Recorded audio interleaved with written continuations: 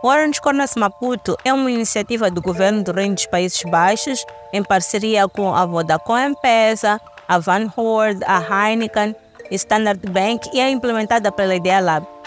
O Orange Corners tem como principal objetivo dar aos jovens entre os 18 e os 35 anos ferramentas, recursos para que eles possam transformar os seus negócios ou as suas ideias de negócio em negócios sustentáveis e inovadores. Tive a oportunidade de participar da formação da escola que é oferecido pela Orange Corners. Foi uma experiência única e dizer que saio revestida de ferramentas para aplicar no meu negócio. Então, aprendemos muito, muito mesmo sobre esse programa em relação ao empreendedorismo.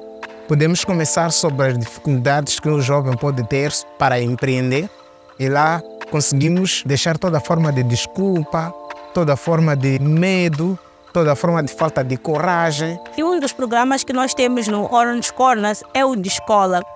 E desde o ano passado nós estamos a fazer o de escola Roadshow, que é um workshop presencial em que estamos a ir para várias províncias de Moçambique.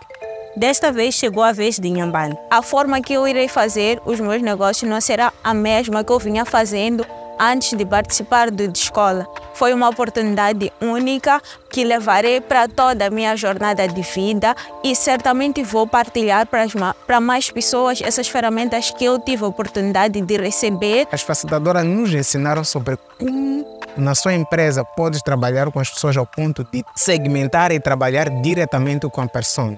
Então estivemos aqui dois dias na província de Inhambane com cerca de 38 jovens que estiveram a pensar sobre os seus negócios.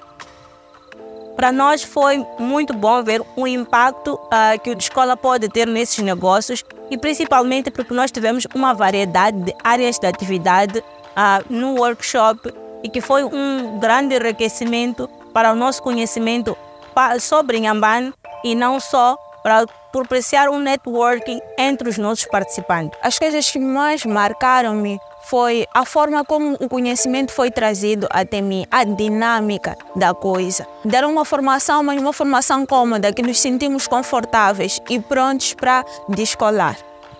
Durante estes dois dias, eles tiveram acesso a ferramentas de desenvolvimento pessoal, até ferramentas de como é que eles podem modelar os seus negócios de negócio. E por fim, nós tivemos também um pitch, que é como eles podem vender e convencer os clientes a poderem comprar os seus produtos e serviços.